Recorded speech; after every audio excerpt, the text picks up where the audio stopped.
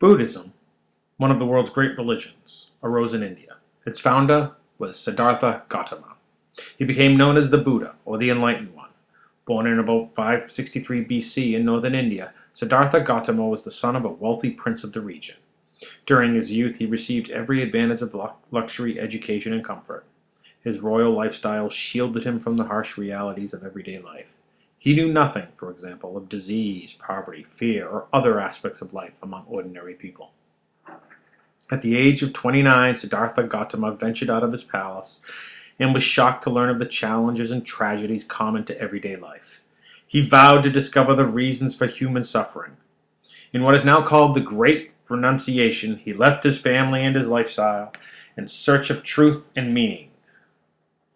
He tried many methods to discover wisdom practicing yoga and meditation, and fasting so strictly that he nearly died. None of these approaches, however, gave Siddhartha Gautama the answers that he sought. One day, after six years of searching, Siddhartha Gautama sat meditating under a tree. Suddenly, he felt that he understood the truth that forms the basis of life. In that moment, according to his followers, Siddhartha Gautama became the Buddha. He spent, spent the remainder of his life teaching his followers to pursue the way to enlightenment, the way of life. The Buddha accepted some Hindu ideas, including reincarnation. He believed that the progress of the soul depends on the life of a person leads. Good is rewarded and evil punished. However, he taught that salvation comes from knowing the Four Noble Truths and following the Eightfold Path.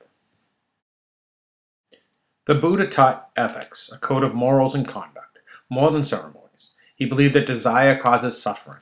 As a result, he stressed the importance of selflessness. The Buddha did not accept the Hindu gods, but rather taught that priests should live peaceful and moral lives of poverty. He did not attack the Hindu caste system openly, but denied its importance. According to Buddhism, any person, regardless of caste, could reach nirvana. This gave Buddhism a broad appeal. Powerful Brahmins opposed these teachings. The B Buddha taught that the Vedas, the great works of Hindu religious literature, were not actually sacred writings.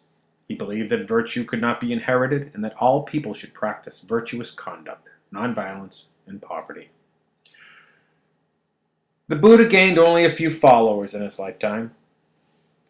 Over, central, over several centuries, however, his teachings won wide acceptance in Asia.